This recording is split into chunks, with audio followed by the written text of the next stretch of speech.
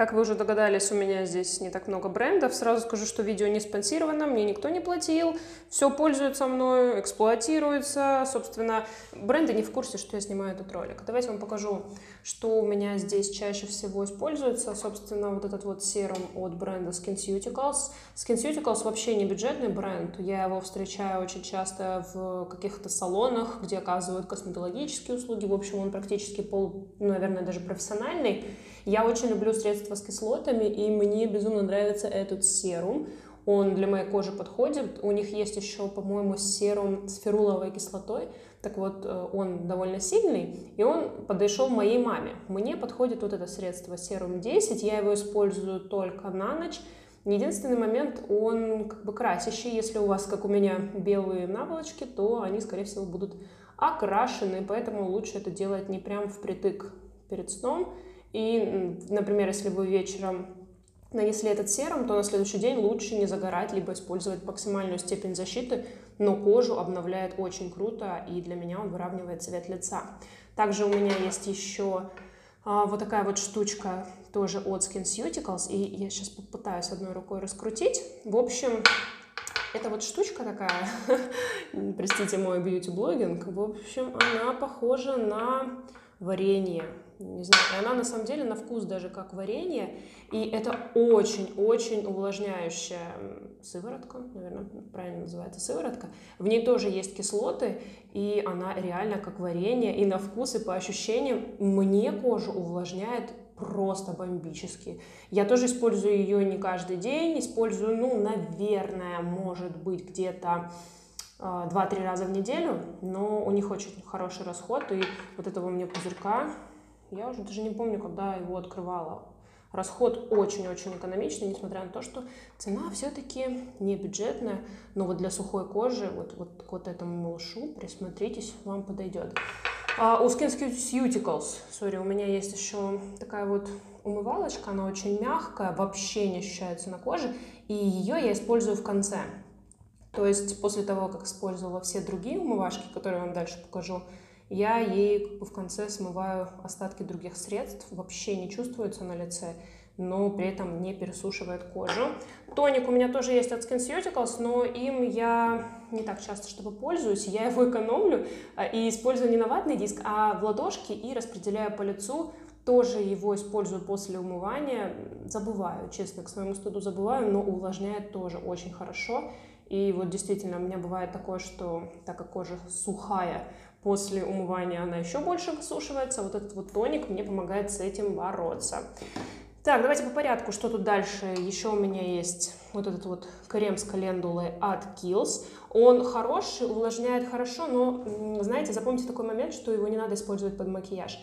Если вы будете использовать его под макияж, ну то есть нанесли и через какое-то время, даже если через 10 минут вы пойдете наносить макияж, макияж просто с вашего лица убежит. И я его использую только в те дни, когда на моем лице не будет макияжа, потому что ну, он действительно первый крем, который убирает стойкость макияжа, но увлажняет хорошо. Я вообще обожаю аромат календулы, не знаю, как вы. Это прям моя любовь. Жалко, что через камеру нельзя передать аромат. По текстуре он такой вот гелевый. И опять же аромат календулы. Это красота. Ну, у меня тут еще легендарная водичка Кадали. Я ее тоже за свои кровные покупала. В общем, видите, да, как она у меня использована. Остатки я уже берегу практически. Это такое косметическое баловство. По-моему, на ютубе рассказывала о том, что ей можно и макияж вроде как бы усаживать, не закреплять, потому что здесь нет ничего, что закрепляет макияж. По аромату, знаете, на что похоже? Такое ощущение, что в воде разбавили звездочку вот эту вьетнамскую в детстве, если вас натирали. Ну, знаете, сомнительно, но кожу как будто бы охлаждает, но при этом какую-то свежесть дает. Я не поняла эту воду, наверное, все-таки буду покупать еще, когда закончится, потому что, ну, понимаю, что косметическое баловство, но мне очень нравится ощущение после нее на лице. Дальше у меня тут ланком пошел, обалденное гидрофильное масло от этого бренда. Посмотрите, как оно у меня уже заюзано. Я обожаю макияж, сейчас смываю именно этим гидрофильным маслом.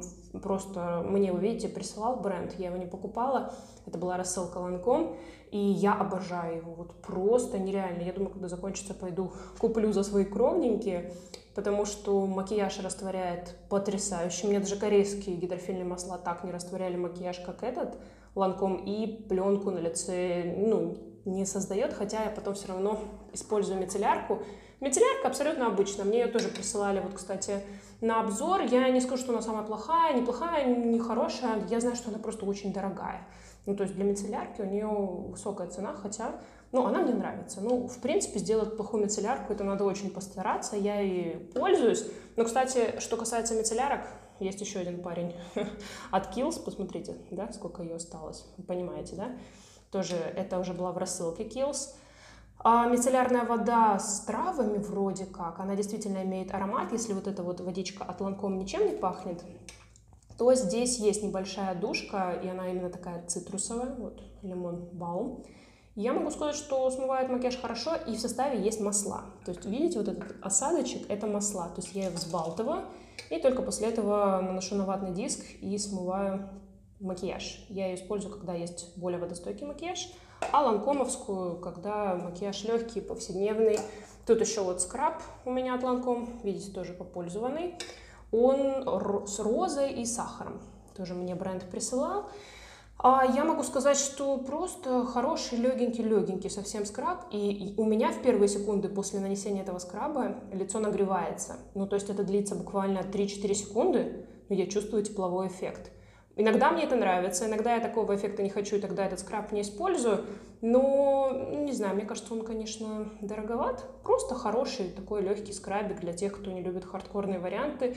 Сейчас я его все-таки использую, но, как видите, не очень часто. Еще мне очень нравится бренд CeraVe. Э, не так много средств я вам показывала, хотя на ютубе, по-моему, побольше. Вот. Э, именно вот эта умывалка для нормальной и сухой кожи. Мне нравится, я ее чередую с вот этой от SkinCeuticals, и даже чаще я эту беру с собой в путешествие, потому что, видите, такой travel вариант – она безумно легкая, и после нее мне даже не хочется наносить крем, несмотря на то, что кожа все-таки сухая, очень хорошая умывалочка, так что если с этим брендом не знакомы, у них много классных продуктов, обратите свое внимание. Так, тут у меня еще есть клиник, я тоже показывала вот эту штучку, которую, когда ты отдельно картридж покупаешь и отдельно основу, немножко у меня запачкалась, в общем, пользуюсь, но пользуюсь не так, чтобы активно. Чаще использую на шею, потому что люблю прям питательный эффект для шеи. Для шеи мне очень нравится. Для лица иногда тяжеловато. Использую в те дни, когда мне никуда не нужно выходить. То есть э, утром сделала масочку и потом наношу вот этот вот крем, потому что он довольно плотный. Так, ну, тут у меня дальше уже пошел не уход. А, там ирригатор, зубная щетка, ополаскиватель, паста. Вот эта вот штучка, кстати, вообще нужная всем. Тусмус называется. Когда брекеты носила, с ней познакомилась. А, жидкая эмаль. Потому что есть такая вроде от Rox, но вот эта Тусмус, она японская, намного лучше, чем Rox. Она, по-моему, даже подороже, раза в два, но хватает на очень долго. Обязательно загуглите, что это и для чего, потому что, мне кажется, это актуально всем. Если у вас также зубы любят, чтобы в них появлялся кариес, то вот без этой штуки вы жить не будете, потому что я вот, например, с тех пор, как носила брекеты, это было еще в школе, постоянно, регулярно использую эту штучку. Ну вот это такой вот, ну, зенерит, конечно, там, когда что-нибудь подсушить нужно. Вот такой вот лайтовый обзор. У меня, конечно, намного больше средств, которыми я периодически пользуюсь, но здесь именно то, что вот, вот реально стояла в ванной, то, что я хотела вам показать. Бюджетного здесь ничего нет, но про бюджетные ну, какие-то уходовые вещи я не так часто, чтобы рассказываю. Я в основном рассказываю про бюджетную декоративку, а вот уход у меня все-таки чуточку, ну, подороже. Надеюсь, что это видео вам понравилось. Если это так, то дайте мне знать обязательно в комментариях я буду снимать дальше, и можете даже подсказать какие-нибудь идеи, что мне еще снять. Вот, собственно, все.